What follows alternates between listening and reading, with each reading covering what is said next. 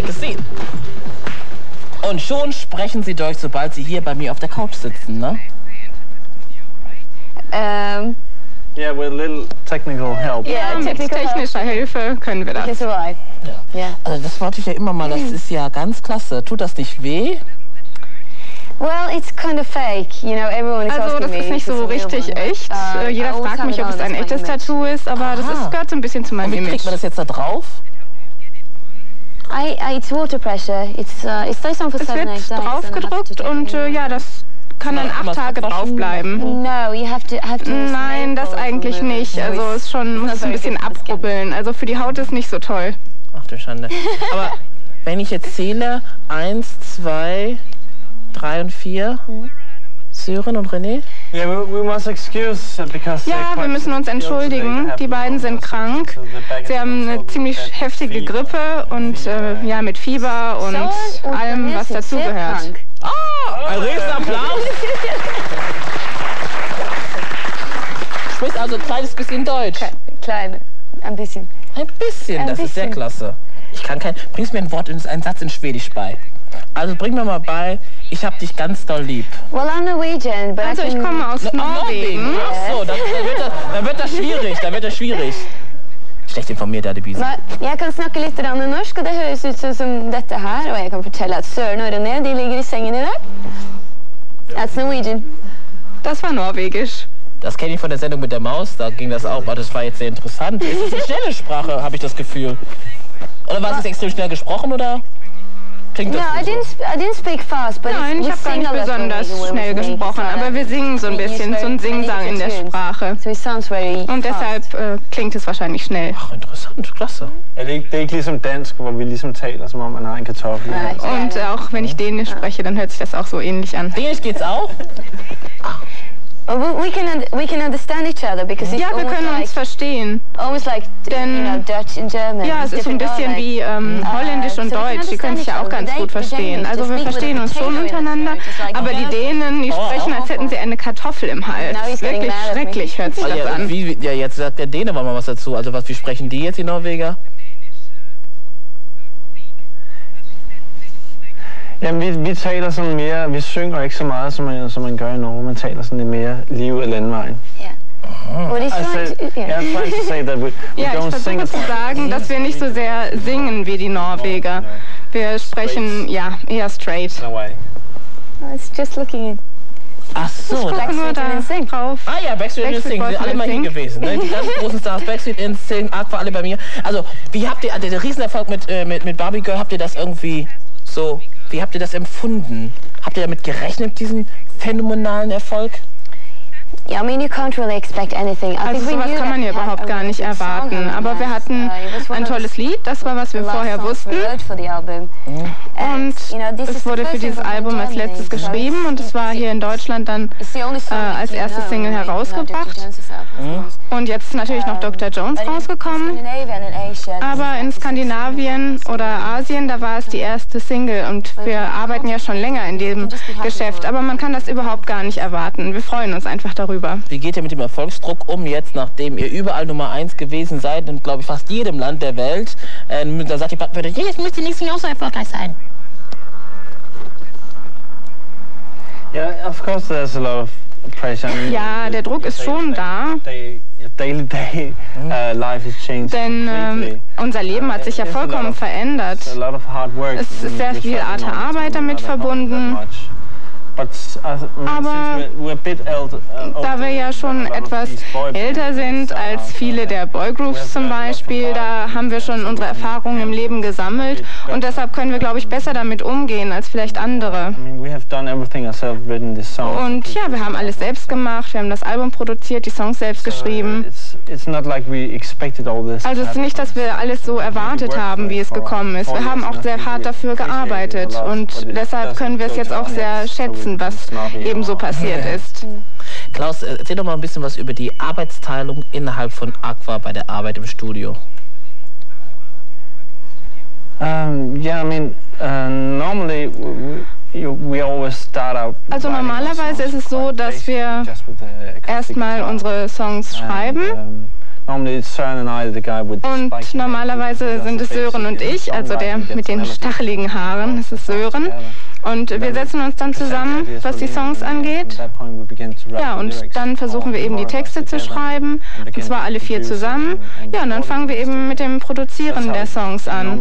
Also normalerweise funktioniert das so. Wir haben also alle damit zu tun, alle vier sind daran beteiligt. Und es ist nicht so, dass es jetzt nur zwei Leute von uns entscheiden, was wir machen. Das möchten wir auch gar nicht. Jeder hat seine eigene Meinung.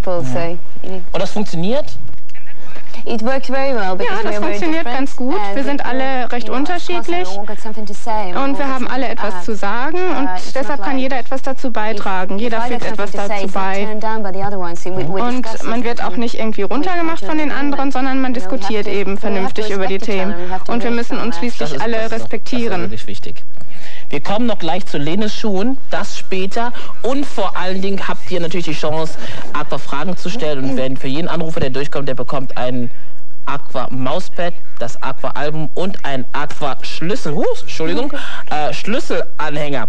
Die Telefonnummer ist 01805 15 17 51, wird auch gerade eingeblendet. Wir schauen uns jetzt einen Aqua Clip an und zwar Dr. Jones.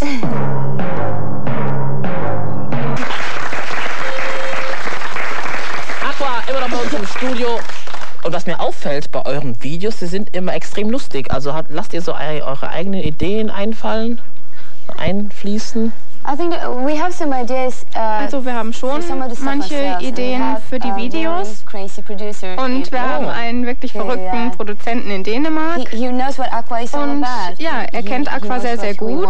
und deshalb weiß er auch, was wir machen möchten. und deshalb kann er sehr gut mit uns zusammenarbeiten. Und wir fühlen uns dann auch gut dabei. Er ist wirklich brillant und wirklich toll. Habt ihr so Spaß? Was sieht nach richtig, richtig Spaß aus? Also das ist noch Arbeit. Für mich ist das eine Party und äh, alle sind lustig drauf und das wird dabei mitgeschossen. Oder ist es richtig harte Arbeit für euch, dieses Video drehen? Wie empfindet ihr das? Natürlich ist sehr, sehr viel Spaß mit dabei, denn ja, es sind gute Freunde von uns und wir kennen die Kameracrew, alle Techniker, die damit zu tun haben mit dem Video, die kennen wir und deshalb ist es natürlich eine relaxte Atmosphäre, aber natürlich ist auch Arbeit dabei, denn man sitzt und wartet die ganze Zeit. Und ja, man wartet zum Beispiel, dass äh, der Beleuchter alles richtig macht und ja, es ist eben ziemlich viel Warterei dann. Aber trotzdem macht es sehr viel Spaß und man kann eben auch die Freunde oh, dabei treffen. Dann doch so locker wie Kaffeeklatsch. Das ist ja gut. Das finde ich praktisch. Aber genau das wollten wir euch nämlich auch zeigen, weil wir haben nicht ein Making-of von Dr. Jones. Das sehen wir jetzt da. Das werdet ihr live kommentieren, meine Damen und Herren. Da kommt das Making of Dr. Jones. Okay, uh, I think you can see in the video. It's, ja, ich glaube, man it kann looks really, the set looks really big. Im ähm, Video sieht der Set ziemlich groß aus. Und ich, ja, es ist vielleicht halb so groß und es ist wirklich ein kleines Studio. Es sieht aus wie ein riesengroßer Dschungel, aber es ist tatsächlich eher klein. Ja, und es sind sehr witzige äh, Materialien verwendet worden für den Videodreh. Alles ist sehr, sehr einfach und ja, alles ist eben gefaked. Und ja, wenn man äh, das richtige Licht hat oder überhaupt, wenn alles gut funktioniert, dann sieht es sehr, sehr echt aus. Ja, dann mussten wir da im Wasser herumlaufen. Das war ziemlich kalt. Wir haben im November das Video gedreht und es ist wirklich sehr, sehr kalt gewesen. Aber wir mussten dann so tun, als würden wir durch einen Dschungel warten. Ja, hier sieht man die Kameracrew auch mal. Es sind 20 oder 30 Leute, die an einem Video beteiligt sind. Und es ist wirklich sehr merkwürdig, denn alles funktioniert, weil jeder genau weiß, was er zu machen hat. Es ist überhaupt nicht chaotisch. Jeder weiß ganz genau, was er zu tun hat und deshalb ist es auch sehr ruhig da. Gab es da mal irgendwelche Pannen? Uh, no, they're Nein, wir waren ziemlich gut vorbereitet und deshalb ist eigentlich gar nichts fehlgelaufen. Manchmal sind natürlich witzige Sachen passiert. Wie gesagt, wir haben im November gedreht und es ist ziemlich kalt gewesen und wir mussten dann so tun, als seien wir im Dschungel und hätten Spaß in der Hitze. Uh, und ja, man sieht ja auch an, wir haben so einen Tiger-Look-Sachen an, halb nackt. But it's fun. It's Aber really es macht big. sehr, sehr viel it's Spaß, really great fun wirklich. to do some videos because it's Es ist it's kind of relaxing Spaß from all dabei, the wenn man touring Videos and coming dreht. home to do some totally Denn ja, wenn man nach Hause kommt, macht man ja vollkommen andere Ding, Dinge und deshalb ist es toll und relaxend. Was auffallend ist bei Aqua, ihr habt ja bei jedem Song immer irgendwie neue Figuren, die ihr einnehmt oder einen neuen besonderen Kick bei den Songs. Barbie Girl und jetzt Aqua, der Dr. Jones, Indiana Jones Anlehnung. Was können wir als nächstes erwarten? Well, we always get some songs up our sleeve, so I Ja, think wir haben you know, immer was surprise, parat und äh, develop all the time. deshalb solltet ihr auch ruhig überrascht sein. Wir werden mit neuen Sachen kommen. Es wird natürlich immer Popmusik I sein, think people are going to be surprised. aber ich glaube schon, dass die Leute überrascht sein werden. It just ends up that way when, when we sit down and write. Uh, Ja, wenn wir uns hinsetzen, um die Texte zu schreiben, dann kommt immer irgendwie sowas dabei raus, dass wir ein kleines Märchen oder eben eine bestimmte Geschichte erzählen. Ja, dass man so ein eigenes, so ein eigenes Universum bildet quasi für ein einziges Lied. Jetzt bei Dr. Jones war es eben video Dschungelgeschichte. und wir haben auch in London ein Video gedreht. Called Turn Back Time. Wird das Lied heißen und das ist äh, Äh, wieder mal was ganz anderes, denn bei dem Lied handelt es sich um eine Äh, Ballade, also etwas ernsthafter. Aber wir werden jetzt auch My bald nach Dänemark zurückgehen und da werden wir dann ein neues Video drehen für Mai oh? Das wird unsere neue Single werden. It's on, on a pirate ship with a lot of pirates and Und ja, mit Piraten und das wird, war- glaube ich, ziemlich witzig. Das ist natürlich witzig, wenn man so ein bisschen die Jungs hin und her scheuchen kann. Also macht ihr auch unterschiedliche Releases. Da den Song und den Song kriegen wir diese Ballade dann nie zu hören in Deutschland. Uh, yeah, I- I'm not sure about the whole thing. Ja, ich because, bin mir nicht ganz um, sicher bei It's dem gonna be the Ganzen. next single in the States and in, Also in es wird auf England, jeden Fall in den Staaten und in. England die nächste Single It's gonna be sein. Time, but, Und but My ähm, is, is in, uh, ist schon in, uh, in Spanien gonna be the next herausgekommen und ich Yeah, glaube, es wird auch hier in Deutschland I mean, herausgegeben. Also das nächste wird hier know, Mai Mai sein, weil so das auch ganz gut dann in be den Zeitplan passt. Und Welcher ähm, Film? Yeah, It's- the, yeah, It's the, a, yeah, it's a film called Sliding Doors. It's, Sliding uh, Doors heißt der Film. Paltrow. So it's, uh, Mit it's a Gwyneth big Paltrow. British film. und es ist ein sehr, sehr großer britischer Film. Darüber sprechen wir gleich noch weiter. Ihr habt immer noch die Chance anzurufen 01805 15 17 51. Aber jetzt kommt erstmal, ich glaube, der größte Hit. Jetzt kommt Aqua mit Barbie Girl.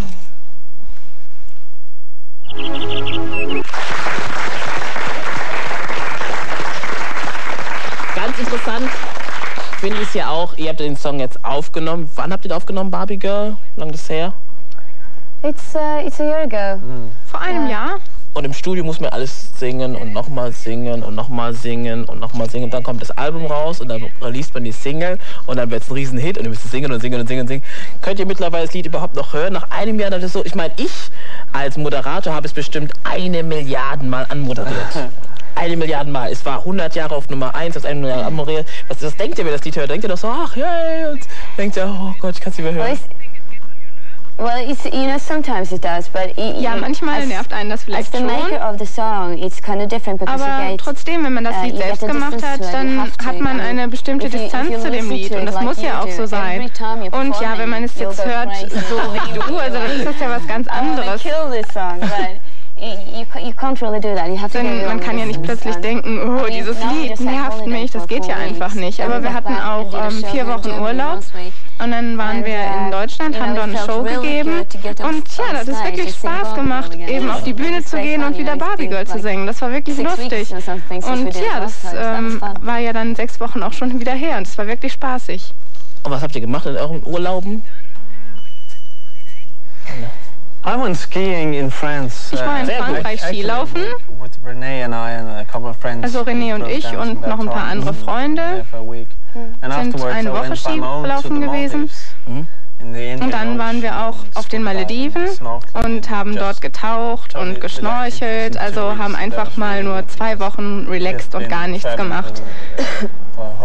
Denn wir sind ein ganzes. Jahr einfach nur rumgereist und deshalb waren wir schon etwas müde. Und ja, so gegen Weihnachten war das und das war wirklich klasse. Das ist klasse. Energie Tolle getankt. Urlaub gemacht, Klaus, aber fast Snowboard. Skifahrer Snowboard. Ah, okay. Nee. Ja. Mal ausprobieren wenigstens. Und bei dir? Well, I went to I went to Orlando in Florida. To ich bin nach Florida friends. gefahren. Oh, das ist ja auch klasse. Yeah. Orlando, Florida macht immer Spaß. Wir haben auch Anrufer, die werden euch jetzt mit Fragen löchern und die bekommen, wie gesagt, das Mauspad, den Schussanhänger und das Album von Aqua.